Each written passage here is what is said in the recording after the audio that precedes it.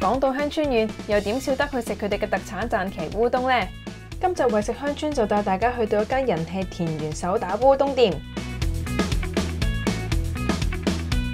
呢度嘅乌冬系师傅全手打，即叫即做，好有风味又好食。有好多日本人同游客都系为咗佢哋嘅手打乌冬而远道而嚟噶。呢度有好多季节限定同乡村县先食到嘅限定菜单。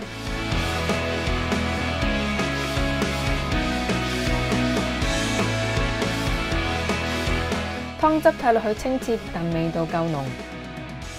乌冬嘅质感比较软身之余，口感又够弹牙。简单一碗已经可以好满足，果然系名不虚传啊！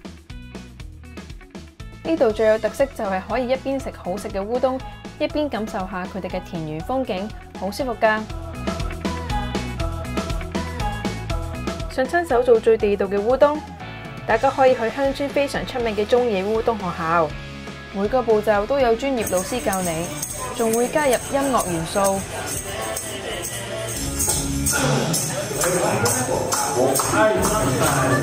由面粉开始猜到切面都可以自己一手一脚整，好好玩噶！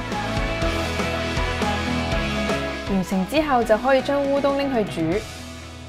乌冬学校采用乡村出产嘅面粉，就算系第一次整，都可以整到弹牙嘅口感，非常有成功感。想体验下嘅朋友，记得要去啦！